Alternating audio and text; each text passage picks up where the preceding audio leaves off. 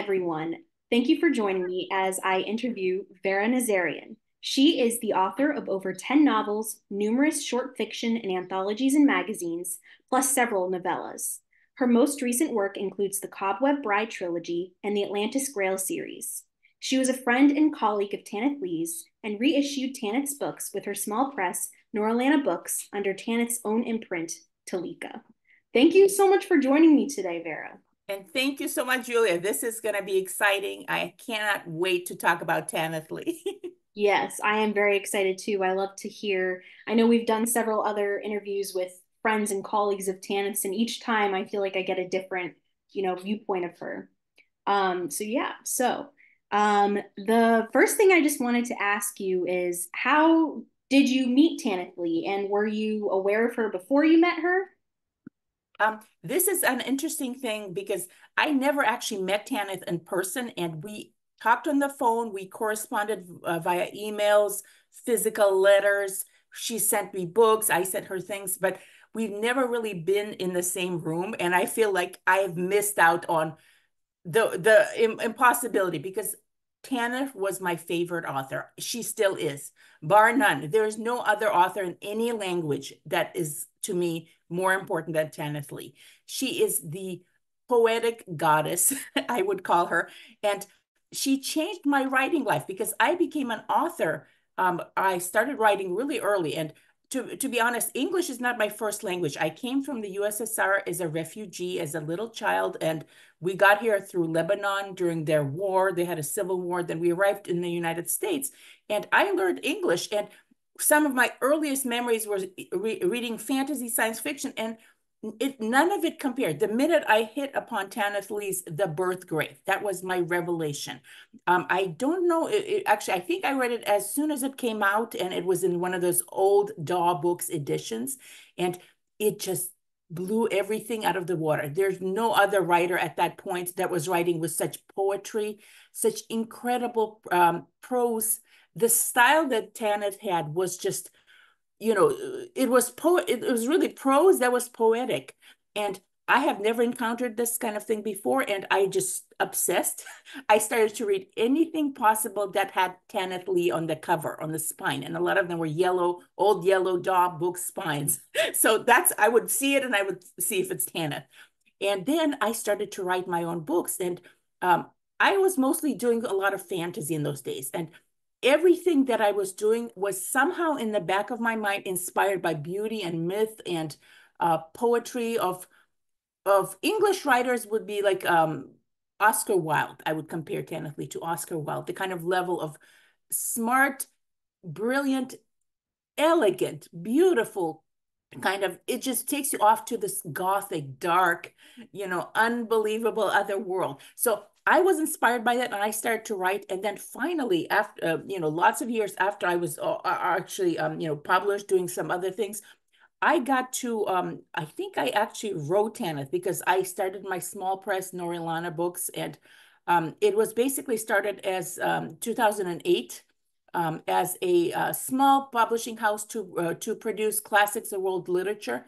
And then I started to publish some other living authors. And then I fell into financial situation problems where I could not do that anymore. So, but that's later. So I reached out, I believe, to Tanith around um, 2008, um, I think the middle of 2000, actually, or 2007.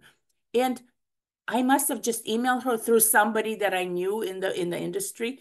And um, she responded, and I said, Tanith, I would love to re reissue your books because Tanith Lee was in the middle of being not published anywhere. I mean, her books were out of print. What what in the world? You know, how can you do this?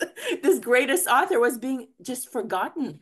Just, you know, her um her Tales of the Flat Earth, um, the Birthgrave trilogy, Wars of Vis, all these books were like not there. So I reached out to her and somehow or another she wrote back and it was email. And then we started and we had a phone call and I sent her one of my novels, which was um, Lords of Rainbow. That this book it's actually out of print right now, so you, you will not see it anywhere. But this book was about a world without color, and it had this handsome blonde hero, which was totally inspired by Tanith Sirion and some of the other beautiful men because Tanith, unlike other people at the time writing fantasy, she would focus on the male beauty and she had these demon lords. And so I sent her a copy of that book. She read it, she enjoyed it. She wrote me back and I wrote, you know, back and forth. And we um I made a press release back in in January 16, 2008 was the uh, was when we we decided to have this dedicated imprint. This is her completely her idea because I was just gonna do Norilana books, you know, I didn't know any better. So Tana said we're going to put it under TaLeKa.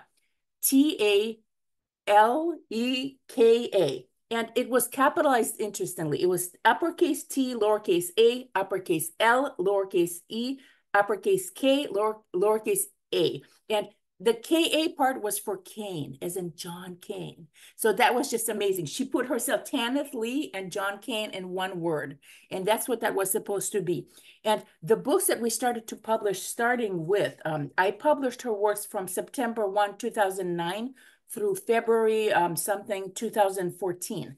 So we started with, we were doing Night's Master, book one of Tales of the Flat Earth. Then we had uh, Sounds and Furies, which was an original collection, never previously published, and it was a World um, Horror Convention special edition. It was a short story collection. Then we went back to Death's Master, The Birthgrave, Delusion's Master, Delirium's Mistress, which unfortunately had to be canceled. I had the book all ready to go, and it, we even had you know review copies mailed out, but because I, like I said, my my small press imploded. I could not pay royalties. It was just horrible. But what happens is my small press right now only publishes me and public domain work. So I don't do living authors anymore. And when I had to go and tell Tanith that this was happening, she was she really did not want to. She actually wanted me to keep going with it. But I said, Tanith, this is just not good for anyone. I'm not doing this right. So I gave back all her rights and Luckily, this little period of time from 2009 to 2014 was when her books was kind of, you know, they were made available and Daw Books finally picked it up again because they were the original publisher. So they picked her up and reissued and started. So uh, Tanith's work went back into circulation, but I was like the tied tied her over until it happens type of thing. And then of course came in people like uh, uh, Storm Constantine, who'd had her wonderful Immanion Press. And, you know, there are other small presses. Then there's people like Craig Gidney. And I think, um, I'm trying to think if he has a, um, if there's a little press associated, but all these wonderful people who just, you know, great fans inspired by Tanith. And one thing I want to tell this, this is just very special to me. Um, Tanith, um, she had something called um, her nieces. Okay, I don't know if you you you are aware of this thing, but Tana felt that there were several um, younger or whatever, you know, other authors. Low, wait, we're we're here. Tanith is up there, you know, we're here.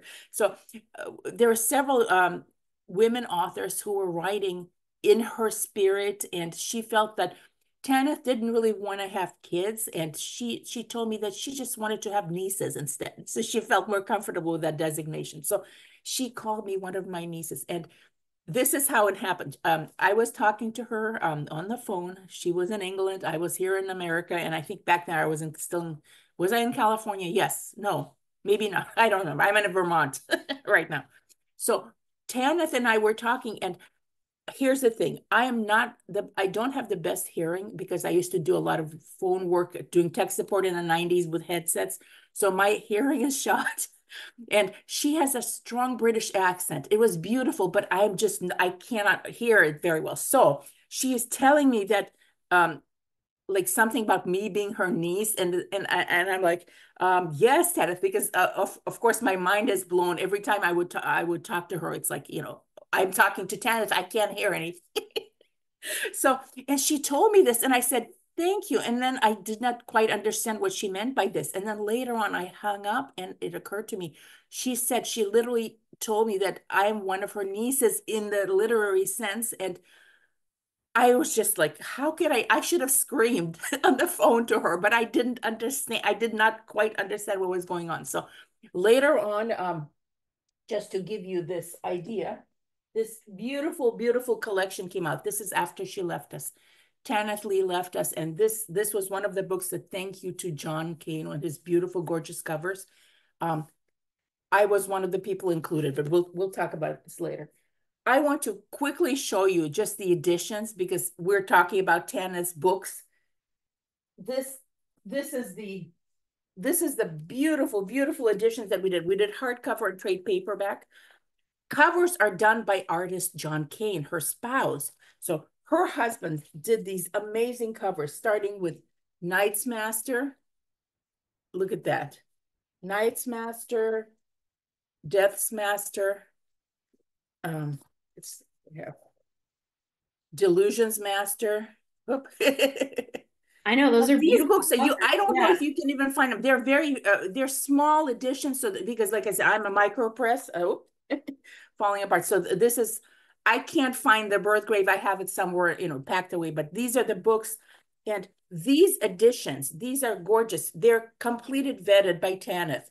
We had, um, when she gave me the manuscripts, we went over them. She fixed, she did tiny little tweaks. So she she did as any author would after you have had a book out for a while. If you're doing a reissue, you may want to proof it a little. So we she did all that.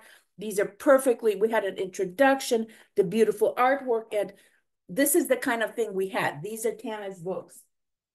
And then we had to stop that. Like, again, I just couldn't do, I could not keep doing that. So in the meantime, Tanith left us. So in 2015, um, actually a day before my birthday. So I'm still like, you know, I'm thinking, thank God it was not on my birthday because I would have been like traumatized. I would be for the rest of my life, you know, traumatized. But that doesn't matter. She left us, uh, and I also lost my mom on the same year. So it's like that was an incredible loss. But she has not left us. Tanith is still with us as long as her books are out here. And I know this is a very long answer to your question. How did I meet Tanith? I have not really met her. She was she was um, she kind of entered me, entered my mind, entered my spirit, entered my soul, and everything that I did since and has been inspired by her work because she's amazing. She's just stunning, amazing. And I don't know if you want to ask me anything else because I have, I could keep going with this. no, yeah. I mean, that's, yeah. I mean, thank you for sharing all that. I mean, that's, um, it must have been, I can't even imagine like meeting someone. I mean, even if it wasn't in person, I mean, yes, yes. today that like that, the boundaries between in person online are. Oh gosh, yes. It, it was yeah. meeting or on the phone. my hero you know she yeah. she was my hero and she was unlike that um, proverb or uh, saying people say, "Oh, don't meet your heroes." Yeah. Oh no, I met my. She was better than I expected. She was gracious. She was kind.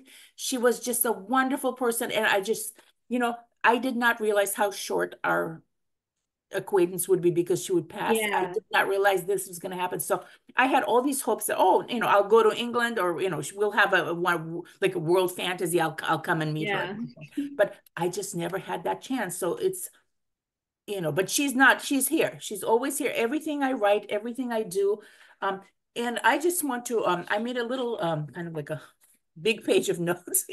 but the things that inspired me about Tanith in general for my own books, for my own writing. First of all, I mentioned her beautiful style, the poetic um, sentence level perfection, um, reminiscent of Oscar Wilde. But basically, anybody else right now, there are a lot of good, beautifully, uh, you know, stylistically beautiful authors writing these days. There are people like Jacqueline Carey, who is um, Kushiel's Legacy, author of Kushiel. Um, there is uh, Catherynne uh, Valente, who is a wonderful, you know, prose poet, but and more. There's others, but Tanith is up here. She nobody, nobody. I mean, even people like who else? Um, you know, wonderful people who are in fact part of your Kickstarter. The the uh, project like um, uh, Theodora Goss. You know, beautiful. But there's still Taniths here. All the rest of us are just you know we just can't. So the the things that her prose level was just stunning. It it brought me across to it transported me. Then the treatment of uh, the characters. Tanith Lee had these blonde, gorgeous heroes or these dark, beautiful. The, the fact that a lot of fantasy in those days, you did not appreciate man and manly beauty. Tanith was a she was so good at that. You you fell in love with her heroes because she made them beautiful. She made them beautiful in every sense. They were dark, mysterious, elegant, and she changed the face of romantic fantasy as far as i know. Uh, what we call romantasy these days you know the, the, it's like a poor shallow sad you know you know reflection three times removed. But what what Tanith did was she made fantasy she imbued romance and love and that kind of longing and um angst angst that that did not exist. Before you would have like tolkien and we would have yes love, lovely wonderful books but that type of weird strange dark soul ringing angst of love is what tanith did.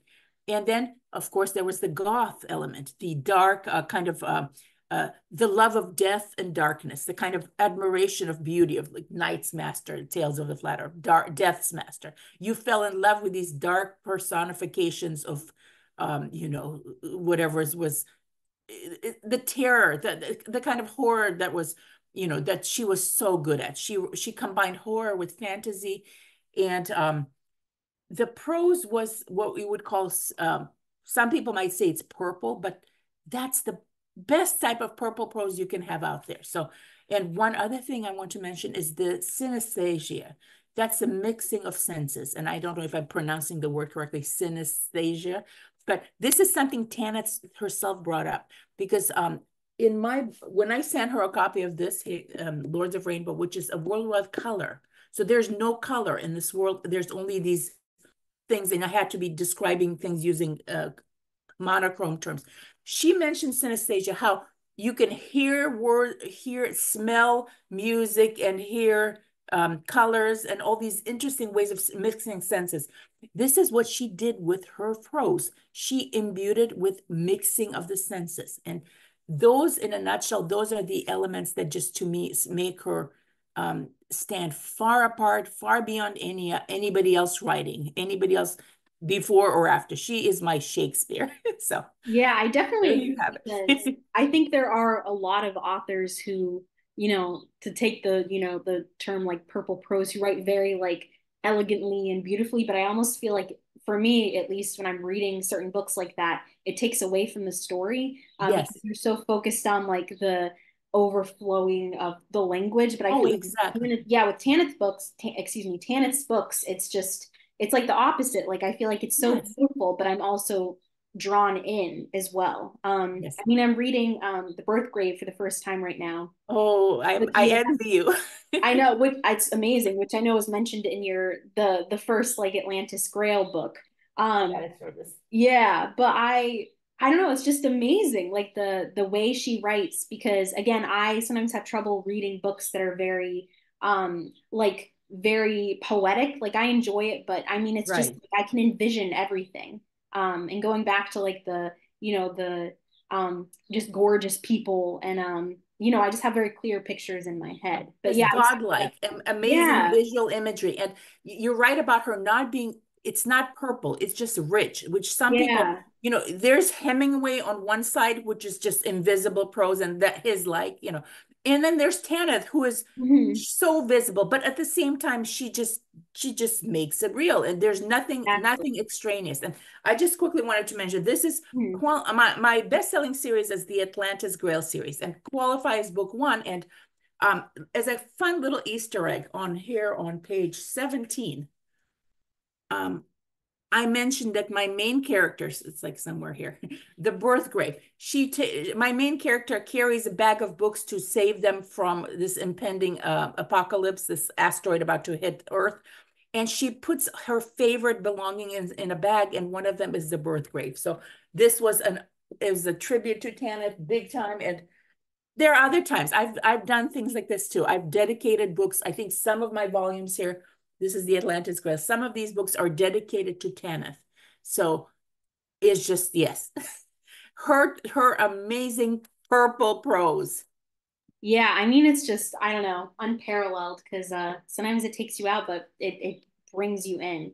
Um, yes. I guess speaking of, you know, all that Tanith inspired you, especially as like even going all the way back to your childhood. Um, yes, yes. yeah, you had told me that Um, Dreams of the Compass Rose, Salt of the Air, and The Cobweb Bride were specifically inspired by Tanith Lee. Do you want to yes. um, explain like how either going book definitely yeah this uh, dreams of a compass this is actually like a re-edition it's a 10th anniversary so there's been this is not the original edition but this is a, a it's like the tales of the flat earth it's an ancient world story cycle and it is very similar to also the like the 1001 nights where you have stories within stories and dream there are 13 dreams and they come together to form a novel. So it's like these characters are you can put them straight in the flat earth.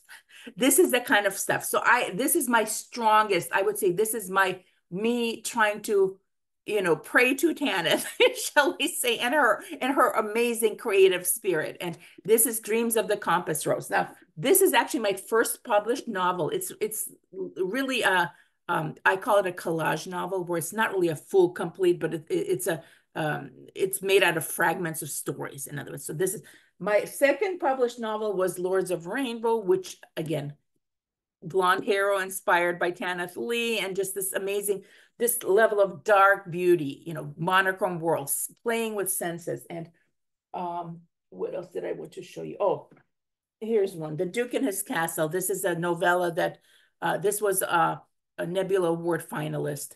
And again, this is a, it's a dark, gothic, really kind of mysterious. The spirit is completely Tanith, and let me see if I can have a. Uh, I'm an I'm an artist too, so I this is an illustration I did, and it's kind of hard to see, but yeah, it's a it's a beautiful gothic type hero. So all these works, I I try to include little bits and pieces of Tanith in my in my descriptions, in my um, imagery, in the way that just my characters move.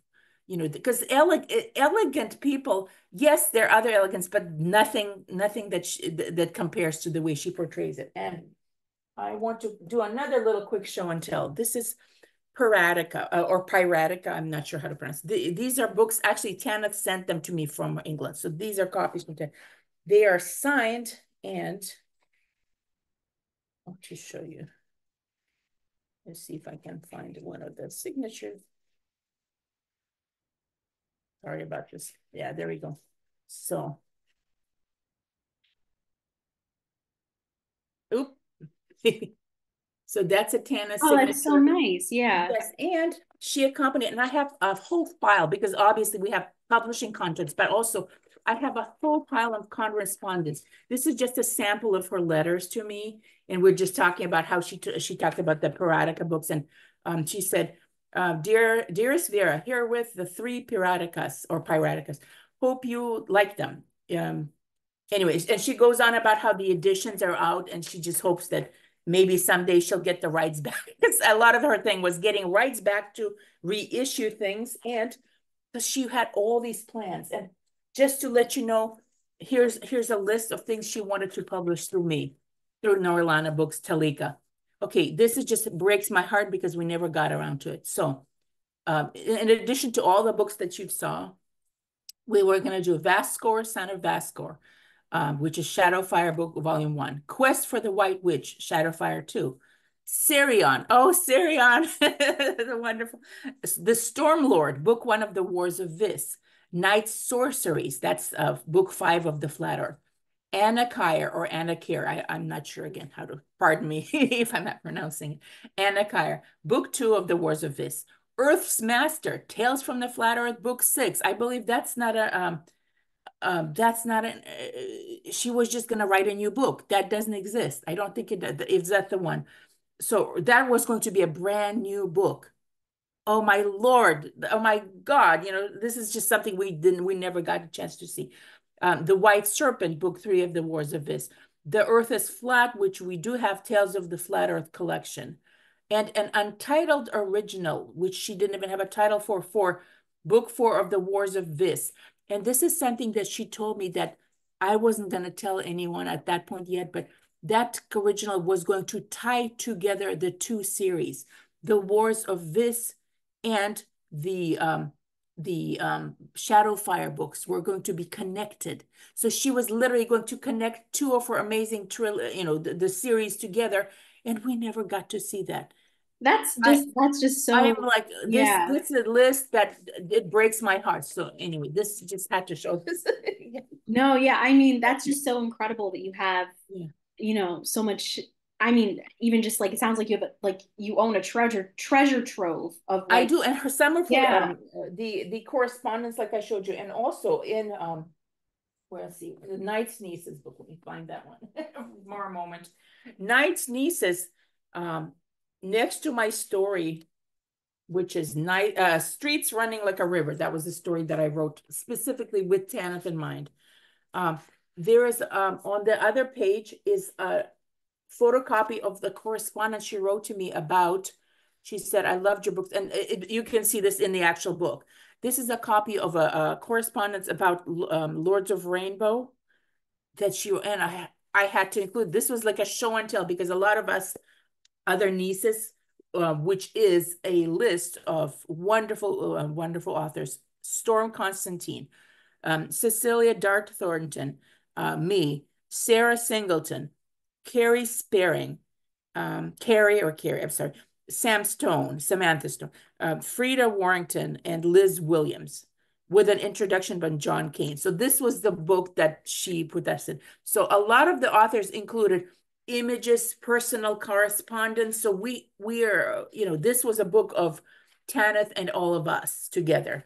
Beautiful imagery of Tanith, you know, photos people happen to have. So so and I didn't have a photo because I never met her in person. So I had to have I showed her the the writing, the correspondence that we had. So oh yeah, Lord. I mean, even I don't know, sometimes I feel like correspondence and personal stuff like that is better than any photo. well, my, it, it yeah. it's you know in some ways it's better. And another thing, here's another um anthology that was completely original. Um, I edited this anthology. Um, it was called Sky Whales and Other Wonders. Again, out of print, no longer because um we had a lead story by Tanith Lee, and this lead story, um, the sky won't listen the sky won't listen. This one had sky whales, and that's why I named the anthology wow. Sky yeah. Whales. She had this beautiful story about this science fiction about this these sky whales on a planet. So, um, one other thing before I forget, what did I want to to say? Oh man, there's so much. There's just so much. Maybe we'll come around to it. So so let's keep going. Okay, yeah, yeah. no, and I know you had mentioned um, Sarah Singleton and Freda Warrington. Yes. We had actually done um, interviews. I didn't, but um, you know, people right. at Essential Dreams Press had done interviews with them. So it's really, you know, okay. exciting to hear the different Night's nieces, you know, and their interpretation. Yes, they're wonderful. Yeah, each just, one is in their own way, but each one, yes, we're we're we're the the uh, literary nieces, the products of the glorious, you know, outpouring of creativity that she gave us. So yeah, definitely. I don't know, very impressive. Um, I guess we can like pivot a bit, and I just wanted to ask sure. you about your like world building because Tanith was just so her world building is impeccable. Um, you know, she can really, like we were talking about earlier, really bring you in, and um, everything everything feels just similar enough, um, but also just as um, not unnatural, but like unfamiliar. You know, yes. And so um, I know because you write fantasy and science fiction and all. Yeah, I write. Bo- I write everything. You know? Yeah, exactly. You yeah. write everything. So I was wondering if you've taken anything from. Well, I know that you said a lot of your writing stems from Tanith Lee, but have you taken anything from her in your world building, or how do you approach that? I just love to hear about that. One one other thing is I am um I am a geek when it comes to world building. I am so detail oriented. So some of the the problem with that is that I get huge, thou over a thousand page books. So there's a lot of detail in my stories. But part of the thing is that I delve into, I go inside the world, I get into all the details. I try not to spout all the details because you're not supposed to do that. You don't want to, you know, they say that uh, each world that you create is sort of like an iceberg and you're supposed to know all the stuff underwater, right? There's a huge big iceberg, but you really show just the top little part, that little, uh, you know, the nose section, the apex of the iceberg, because that's all the reader needs to know. But the reader has to be able to sense that there is more underneath the depth, the, the incredible detail um, that is real. So that's what makes a world different. For example, you would take certain unnamed, um, I'm not going to start naming names, but certain contemporary, very popular romantasy authors who are, I would call them, uh, you know, like a house of cards. They're just a facade. They don't really go deep. But then there's people like Jacqueline Carey, who just plunges in and he, she gives you a beautiful, rich, rich, you know, environment. I try to do the same thing because to me, I cannot put my characters in a place without saying what it is what what they're standing on what's over their heads what does it sound like what does it taste and smell like so i give you the details i give you the descriptions i try to not to bog them down you know i'm i don't of course compare to tanith at all but you know i can't go to that level but i try to describe the world and sometimes what i do is my favorite technique is to take up away an element and then then have the reader miss it. For example, the world without color. So the whole thing, it's an epic fantasy with other things going on, but the fact that the setting is a world without color and you just have nothing, you know, how do you describe that? How do you come across and you still make it colorful with that? Another thing that I was working on, which is not published yet, but um, another um, um, kind of like a world was a world where there is no land the people live in these floating bits of a broken planet. So it's like there is no firmament. So how do you deal with that? So you take a fan, uh, uh, um, a real world element, and you either take it away, change it, enhance it, and it drives the story. And then you have to match all the other description, all the sensory elements that you put in. You have to match it to that new thing, which is that what that's what makes it fantasy or science fiction or or dark fantasy or horror, you know, whatever that that other element is. So I go all the way. I just I cannot write stories that are not that don't go far into every possible direction of the senses. So yeah, I mean that makes for such a wonderful reading experience. I mean, I mean, I know people everyone has different um uh what is the word i'm looking for preferences for what they read sure. um but i really i don't know i think that that is the mark of a good author is someone who can bring that um level of world building and still have the story be the forefront yeah yeah very impressive um of both of you i think um yeah and i know this this is kind of similar but um you had mentioned earlier that um well i know that you do your own artwork and also that Tanith Lee, her husband John Kaiine, you said did some of the artwork for. He did um, all the covers. I yeah, yeah. What I did is I I put together, for example, you would have um let's let's take a look. This is the image he provided. I would put on the lettering, the uh, spine, you know, just for example, if you take off this beautiful jacket and back in those days, um, th these are print on demand books. So uh, the technology has not developed to the point of it has right now because um, I want to carefully take this jacket off ah, without ruining because I these are my few, I do not have a lot of copies. So this is a gorgeous jacket that came about and you have, let's see.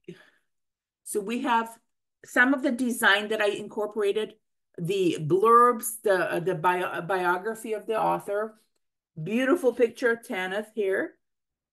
So, and the, this image, TaLeKa, I think that was, um, I'm trying to remember if this was me or um, the logo. I think it was a combination of me and John. It's so know, perfect that look. I don't remember. This is terrible. How can I not? I was like, I have, I have rotten memory, but I don't know. So we worked really hard. So this was the logo for TaLeKa.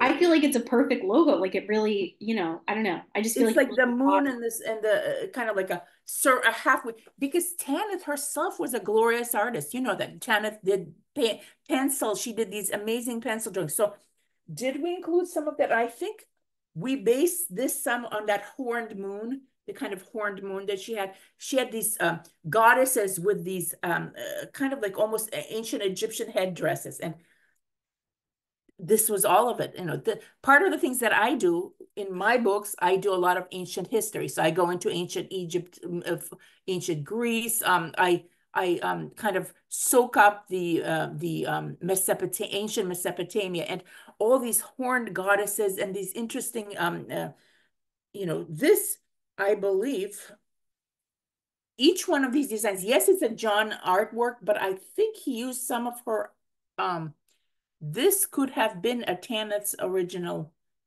um, drawing. So I think what he did, don't, I could be wrong, so forgive me if I am, but I think some of the design that he did was either using some of her original drawings and then building on it because it's John. This is John's artwork, but there may be some elements of that kind of, you know, where you combine, you know, using graphical, you know, image processing or whatever, but whatever, it's it's gorgeous. This is John's artwork, my basically book design, putting it all together. And um, yeah, it's a it's a combination of people, you know, who love Tanith. We just love Tanith and we just wanted to do the best we could for her.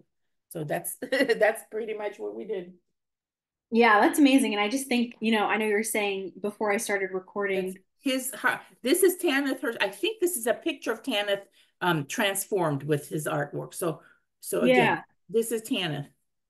It's, but it's been, you know, in John's style. So he processed, he did things, he did his, he put his own mark on it. So yes.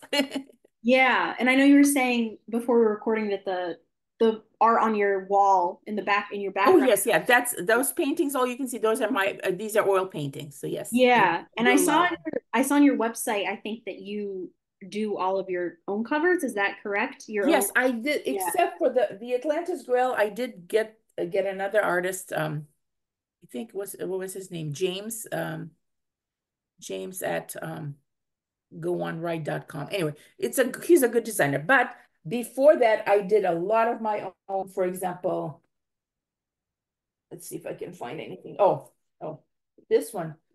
Actually, no, Salt of the. This is not, this is a reissue, but this is not my own design. This is a design by um, Ahikode. I cannot pronounce the word, but she she's an artist with a one name. A, a, a, H C O D I A, something like that. So she does this gorgeous um and um but this was my own, this was an edition that I used her design and I put her, put her um, with an introduction by Gene Wolfe. This was my short story collection. That That's the other book that I was gonna mention that is very, very inspired. All the stories here are like, Tana, you know, I, I worked my butt off to get them right. But let me see if I can just find one of the, um, oh, yeah, this is my own, this is a design using some public domain art. And so, so this is my own art uh, design. And oh, here's one another. Yeah. A lot of this is incorporating public domain and putting in my own spin. So my own design, my own, um, yeah, this is it. Oh, it's an arc. so this is like not even an actual book. This is one of the arcs, but yeah. So I did over 300 uh, covers for my uh, public domain books. So tons of covers, tons of art. and wow. I am not, I am not up to the contemporary levels of graphic design. So I'm nowhere near. This is like old. We're talking about like last decade or so. so I try not to do covers anymore because I'm just not up to it. But I do physical art like that, you know, physical oils on canvas or um pen pen and pencil. So yeah, well, they're they're all like amazing from what I can tell. And I just think it's really I love that um, you know, that you said Tanith herself was an artist. Um, she is, yes. Yeah, and that her husband is like a visual artist as well. And I just yes, and a writer. I believe John, yeah. as far as I know, he he is also a writer. So it's like, you know, yeah, all different sense. All the overlap between the different, you know, parts of writing, and I mean, there's there's so much that goes into writing, and then you yeah. know, we were talking about her sense of like, you know, her description. I wonder if that you know plays into it and yours as well. I just think it's really it's really cool to think about and see um, especially if you're you know creating work from your books as well you know? You know just the spirit of her lives in me and the synesthesia. I can never i am apologizing because i cannot say that word and my no, i don't know is, how to say it my english is honestly I, it's my second language so i'm just you know there's certain words that i cannot say very well. So synesthesia syn- synesthesia that's the word where you the mixing of the senses and that's what tana said that she that was her we started the conversation and that's what she was talking about you mixing art uh, verbal art you know, literature, art, literature, music, because to her, she was talking about how colors and music and sounds, you know, there. So all these things together, they're coming together and they're different. That makes her writing different. That that's what made her so, so different from everybody else. Because she yeah. just she she poured this, she poured the beauty, she poured the vision, and the sounds came out, and like the reader could feel it. You know, you could actually sense something was different you know there are other great writers out there but what is this this is just a step above so yeah definitely and i know like speaking of you know all of that coming together tanith was um, a master of weaving genres um, and i i know that you also we were talking earlier about how you know how you've written like everything under the sun it sounds like um, so yeah i'm wondering if that also yeah came from tanith's influence or um, yeah, how you came about writing just everything and the process and if it's different. So if you want to talk about that at all. Sure. Um, uh, for example, what I uh, what I call my uh, my um, series, The Atlantis Grail. I call it cross genre. This guy right here, it's a big fat fat books, huge huge volumes. Um, it's cross genre because it's technically you would put it if you were going to use one, it's science fiction, but my goodness, there's so many other things going on. There is ancient history you know, the legend of Atlantis, mythology, um, romance, hard astrophysics. Um, there's um, kind of relationships and school academic academia setting. Um, there's uh, family bonds, love, of course, romance, adventure, action adventure, um, puzzle solving and game lit, you know, game lit being, you know, games, because there's the games of the Atlantis. So this is just one of the ways I do it. I just cannot seem to pick a genre and it doesn't make it very easy to to promote books like that because as a small press and an author who sells besides you know I had I finally established a small press that that gave me the opportunity. Because right now self-publishing is a very very uh, uh, kind of like a force of nature.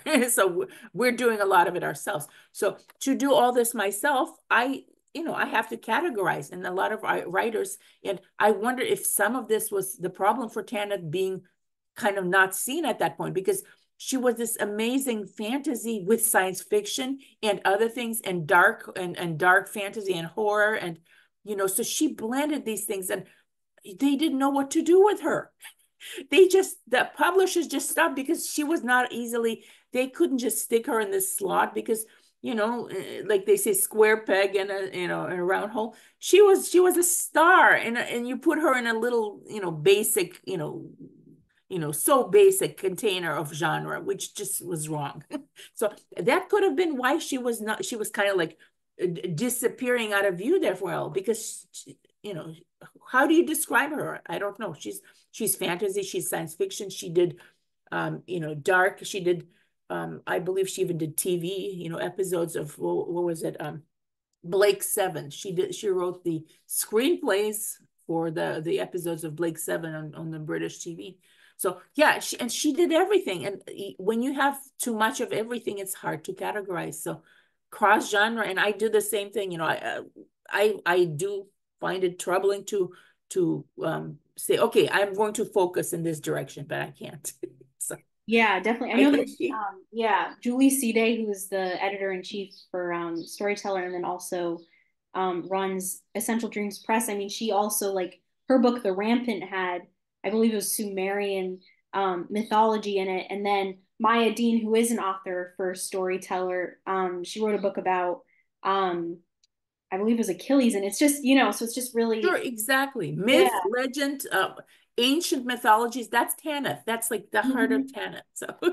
Yeah and it's just it's just cool because um you're right that it it would have been hard to categorize but i think today there's more um leeway for authors especially with like small well small presses and self-publishing, self-publishing you're yeah. in control you know right now I have I'm I am technically a hybrid, which means I do both trad pub and you know traditional published with big publish. And but mostly I I don't want to. Like my audiobooks are all traditionally published because I just don't have the resources to do audio recording. And can you imagine having Tanith's audiobooks? Oh, the beauty of having it read by a wonderful narrator, you know. So all this stuff was not even around was not available back then so and when i say then it's only like a just a 10 or so years ago you know just So she could have really like I think she could have had a second rebirth or, and ex, re-exploded on the scene because that's what she deserves. She's she would be what I call a classic. She is a living classic, and she was from the moment she started writing. so. Yeah, and I know it's it's so. Um, this past Saturday, as we're recording this, was the um the SFWA like she they awarded Nebula Awards, I believe. yeah. Was, yes, yes. Yeah, and um, you know the posthumously that award, and I just think the Infinity Award. Yeah, I, I just think it's like it's sad. I mean, it's really wonderful, but it's also just you know sad that she wasn't able to garner that support during her lifetime. And oh, I, I, yeah, I agree. Oh, yeah, I mean, she's just so, and so you know, she is getting her like rebirth, but you know, yes. sadly, she's not around to see it at least on this plane. She right? should have been a grandmaster. See, this is the one thing that uh, SFWA or the Science Fiction Fantasy Authors um, of America used to be called that. Now it's uh, what is it? Science Fiction Fantasy Authors Association. So it's still SFWA, but yeah, they give out Grandmaster awards to great people in the genre. And Tanith, I don't think she ever got one, which is I think it's a travesty. For God's sake, give Tanith. Yes, the Infinity Award is lovely, but give her an official Grandmaster of, which was the big award of that of the um the organization. So, yeah. Yeah, I know. So I just wanted to um begin to wrap things up because we've been going for quite some time, which is awesome. I love hearing about all of this. yes. But is there anything that um we haven't touched on that you'd like to discuss about Tanith? Anything um that you want to uh, bring up?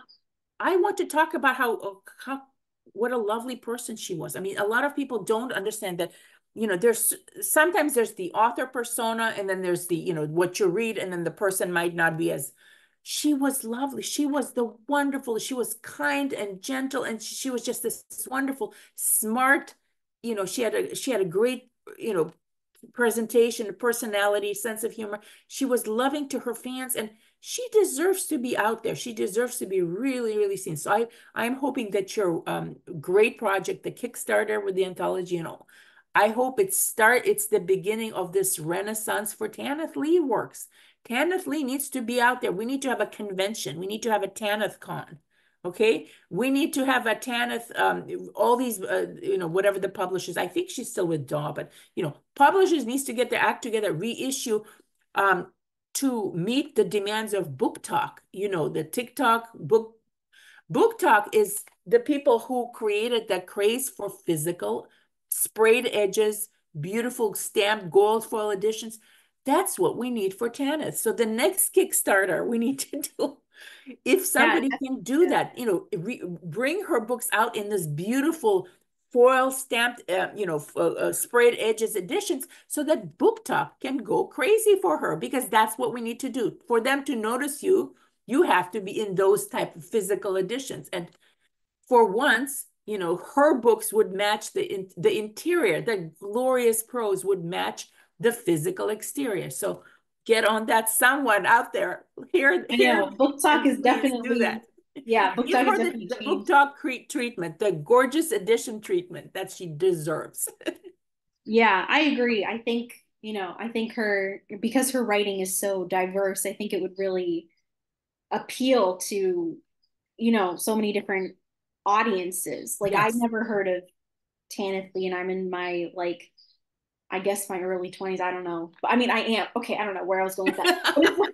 I feel like from what I'm telling a lot of people who are Tanith Lee, you know, super fans are like a decade or more older than me, but I feel like there's so much in her work that yes. people my age would connect to. I mean, even her like um her, you know, the the queer aspects of her story. Oh, yes, diverse, yeah. queer, gender yeah. fluid, she's got it all yeah i think that's you know her demons are beautiful almost shape-shifting gender whatever they are everything so yeah definitely i don't know so i agree with you i think BookTok should pick her up and if i was that tiktok i'm, oh, I'm not, so uh, before yeah. i forget there's this one book one of tanith Lee, lee's books um romeo and juliet sung in shadow have you read have you know the audience here read it Sung in Shadow needs to be known because she took the story of Romeo and Juliet.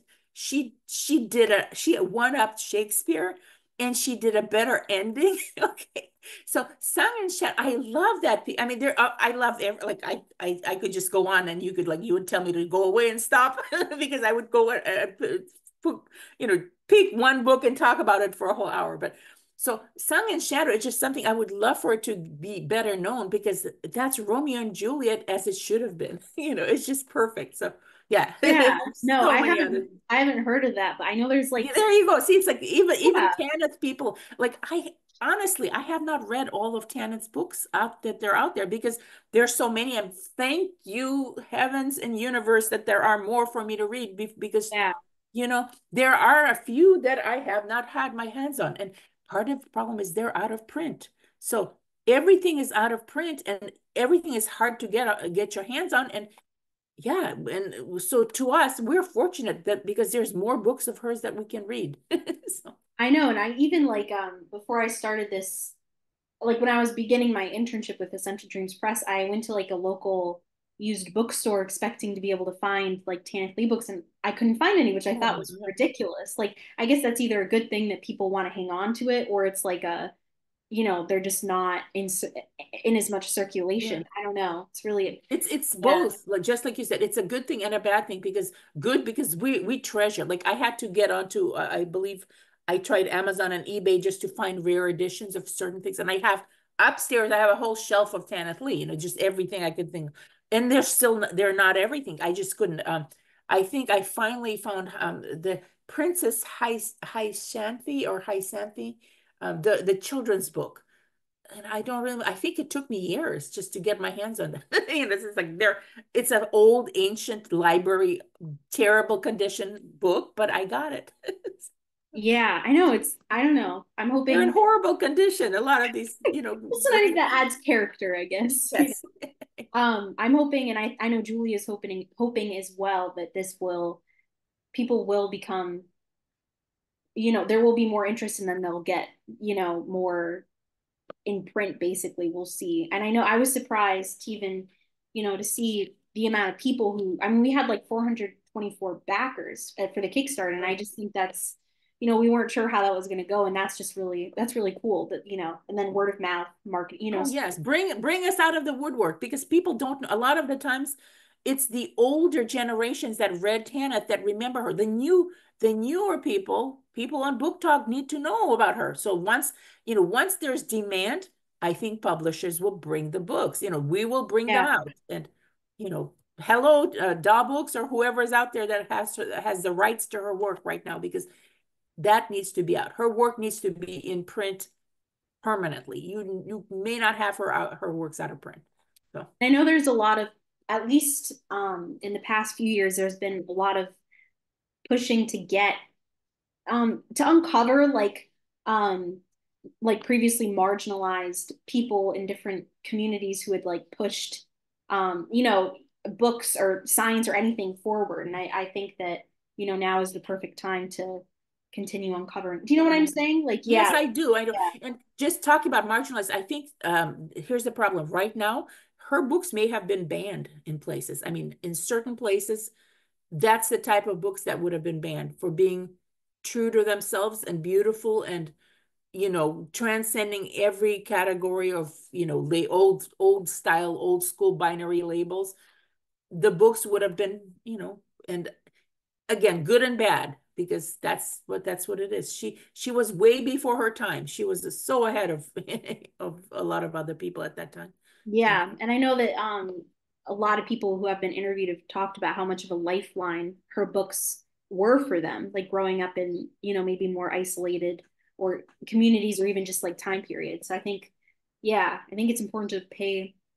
I don't know how to say this word homage, homage. I don't know. Some homage. I think yeah. Okay, right. yeah. Homage. And that's the problem with like reading word. is like, and then not. I don't know. It's like you, you know words, we don't know how to say them. But anyways, right. yeah, I think it's um it's just it's important to know your history and i think that she's a big part of that history and can continue to be you know a big part of what's to come um, but I, I think um, i just wanted to ask one last question before we part ways which is do you have anything you want to promote for yourself um, so um, well basically i am writing i'm still working on um, this is a completed series, but I have a new book coming out in, in probably in, a, in the next month or two. It's called Eos, which is the first book of the ancient Atlantis, because this is futuristic. This is this book is in is in the near future, and it it uh, basically talks about the idea that ancient Atlantis was destroyed by cataclysm, but the people escaped and they formed a colony on another planet somewhere out there in space, and they come back to assist modern humans to help them during that the the asteroid apocalypse. So, but the the prequel series that I'm working on is going back to the original ancient Atlantis because my readers wanted to know how did that happen? How did the Atlantis sink and what happened and how did they escape and all these other things. You know, so that's what I'm working on right now. Continuation of the Atlantis Grail called Dawn of the Atlantis Grail. I always think that's so cool when authors go back and like, you know, and again, that's world building, right? It's it's yeah. so much well, you you know, um, not that I have this, I uh, unfortunately I don't, but I literally have books of um like a Bible of my world. It's a it's called the Atlantis Grail Companion. I had to create a book of all the things that I and I had to get, come up with a a people of the Atlantis Grail. Another book was just the like an uh, a character detailed character um um, kind of like a um, uh, dramatis personae, you know, type of listing. So I have so much stuff to, to dig into, and that's what I'm doing right now. I'm working, you know, and hopefully I will um I will do more mentions of um you know more little Easter eggs with Tanith, you know, like including the Birthgrave in the book and just you know mentioning Tanith Lee because yes, it's all I can do maybe an incarnation of Tanith Lee was back in the Atlantean. Period. I know, or something, yeah. you know, just mentioning because I I got you you cannot not mention her. yeah. Okay, well, thank you so much. Thank I really you. enjoyed this interview. I feel like I've gotten to know Tanith a little bit more. Um, it's so cool how everyone has such different yet similar depictions of her and stuff, you know? So yeah, thank, thank you for, for giving me an opportunity to blather and go on and on. I mean, I could do this for hours. So mm-hmm. it's like you just stop me now. so yeah, no, this was yeah. a pleasure. Thank you so much. Remembering Tanith again was just, you know. Yeah. Sounds like an amazing person. So, yes. Yes.